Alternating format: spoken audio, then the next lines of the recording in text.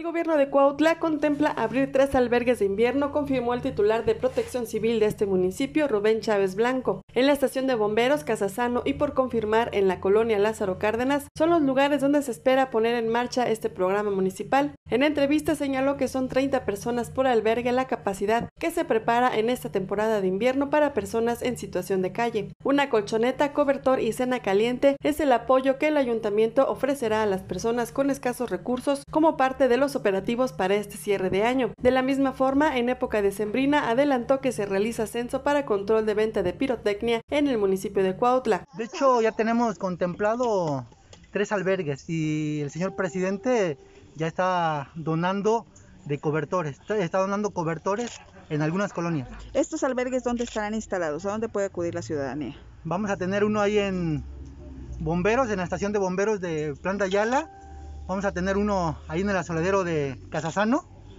y estamos, estamos todavía no hemos confirmado el que vamos a poner aquí en Albazo. Para la jornada Morelos informó Dulce Valdepeña.